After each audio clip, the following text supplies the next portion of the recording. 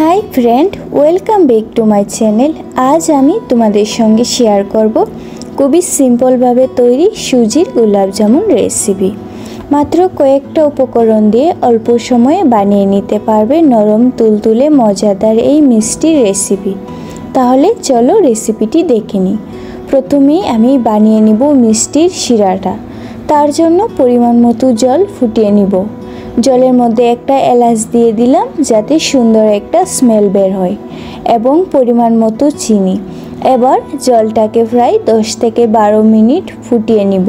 শিরাটা সামান্য ঘন এবং আটালু হলে বুঝে নিবে শিরাটা একদম রেডি আমার শিরাটা রেডি এখন শিরাটা নামিয়ে সুজিটা বেজে নিব। এর জন্য কড়াইয়ে সামান্য ঘি ঢেলে দিলাম। এরপর এরই মধ্যে ঢেলে দিলাম দুই বাটি সুজি। এই সময় অবশ্যই চুলার ফ্লেমটা লো রাখবে, তা না হলে সুজি পুড়ে যাবে। সুজিটা হালকা বাজা হলে দিয়ে দিলাম এক গ্লাস দুধ। দুধটা ভালো করে সুজির সঙ্গে মিশিয়ে চুলার ফ্লেমটা অফ করে নিব। সুজিটা একটু ঠান্ডা হলে হাত দিয়ে চেপে চেপে একটা সফট ডো বানিয়ে নেব। তারপর এক এক করে গুল গুল করে বা লম্বাটে শেপে মিষ্টিগুলো বানিয়ে নিচ্ছি।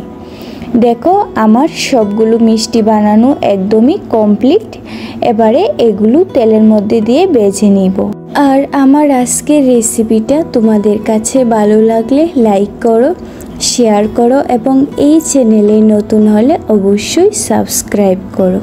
আর কমেন্ট বক্সে জানাও আজকের রেসিপিটা তোমাদের কাছে কেমন লেগেছে। এখানে মিষ্টিগুলো বাজার জন্য আমি সয়াবিন তেল দিলাম। তেলটা ভালো করে গরম হওয়ার পর এর মধ্যে দিয়ে দিলাম মিষ্টিগুলো। মিষ্টিগুলো দিয়ে লো ফ্লেমে মিষ্টিগুলো বেজে নিব। মাঝে মাঝে মিষ্টিগুলো উল্টিয়ে দেব যাতে করে উভয় সাইড ভালোভাবে ভাজা হয়।